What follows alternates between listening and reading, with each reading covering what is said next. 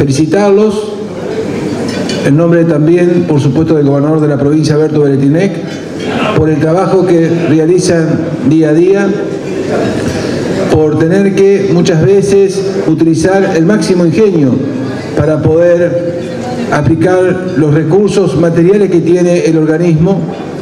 en la atención de los 10.000 kilómetros de camino que Vialidad de Río Negro tiene que diariamente mantener en buen estado. En este sentido me parece oportuno anunciarles que el gobierno provincial ha tomado la decisión de sumar a la inversión de equipamiento que hace unos días se incorporó a Vialidad Provincial, la decisión de invertir 27 millones de pesos más en equipos en los próximos meses, que se sumarán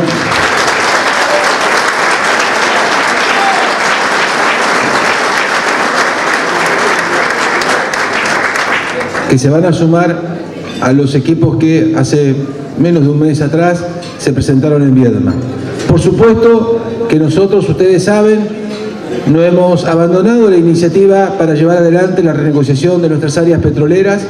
Ustedes saben que aquel contrato que lamentablemente no prosperó con la empresa Petrobras implicaba una fuerte inversión de equipamiento para la dirección de vialidad, pero bueno, estamos reencauzando una segunda etapa de, renegociación de los contratos petroleros con las áreas que no fueron objeto de aquel acuerdo con Petrobras y si esto prospera, como estamos seguros que sucederá,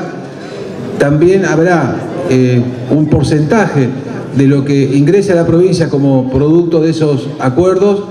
un porcentaje importante de inversión para equipamiento vial, para mejorar, por supuesto, la capacidad de funcionamiento de nuestra Dirección Provincial de Vialidad. También quería transmitirles que luego de casi dos años de haber transformado Viarse en lo que es hoy Vialidad como organismo del Estado, como lo fue en su origen, uno de los primeros organismos que se creó en los momentos de organización del Estado provincial,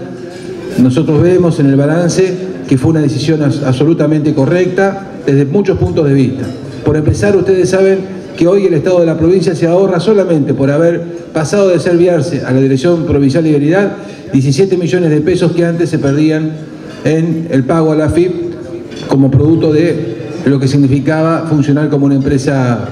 una sociedad anónima. Pero junto con ellos, también el hecho de que ustedes, los trabajadores viales, vuelven a ser empleados plenos del Estado de la provincia. Vuelven a adquirir esa eh, condición de empleados del Estado de la provincia de Río Negro y con ello todas las garantías que tiene cualquier trabajador del Estado provincial. Y finalmente me parece oportuno destacar, resaltar y también agradecer el trabajo que eh, diariamente hacen, pero que se ha visto intensificado en estos últimos meses como producto del fuerte desastre que azotó a nuestra provincia luego de la tormenta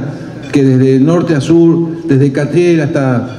eh, hasta mm, Arroyo Verde,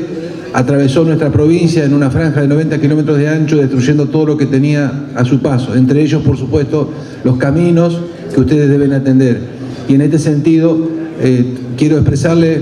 la gratitud del gobierno de la provincia de Río Negro y por supuesto también de la comunidad de Río Negro por el trabajo que ustedes han hecho para ir recuperando eh, nuestras vías de comunicación.